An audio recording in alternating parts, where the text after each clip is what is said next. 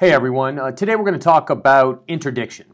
And if your loved one has suffered a traumatic brain injury and is involved in litigation, and the severity of the brain injury is, is severe enough that they cannot handle their own affairs, it's important to consider an interdiction. Now, an interdiction is where a person is appointed to handle the affairs for another because they cannot either physically or mentally handle those affairs.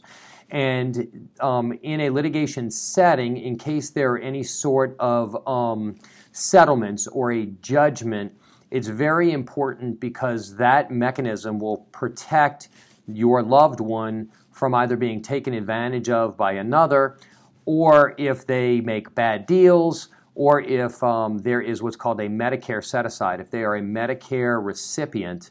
um, then sometimes a Medicare set aside is required whereby a certain amount of funds are put to the side to use for any um, health care costs that are attributable to the accident that caused the traumatic brain injury for a number of years until those funds are either depleted fully or the requisite time passes where uh, those funds have not been used and then can be returned to the injured person. The procedure um, obviously is involved in a court and it is going to require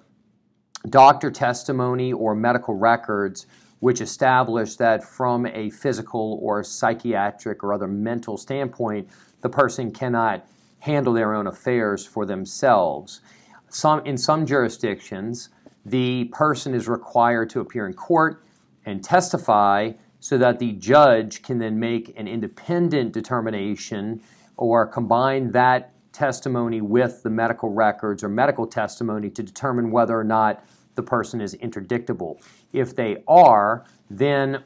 a tutor will be appointed to handle their affairs, and they are held to a very high legal duty, as you might imagine, in order to make sure that that injured person is protected. Um, it's also important in that regard that the tutor coordinate with the various people involved in the settlement or judgment, such as accountants or investment people, to make sure that those funds are preserved and protected so that the injured person has the, the amount of money that they may need for their lifetime for housing, medical care costs that perhaps are not covered by Medicare or some other health insurance plan, or for various other personal reasons. I hope today's video has been helpful for you, and we'll talk again soon.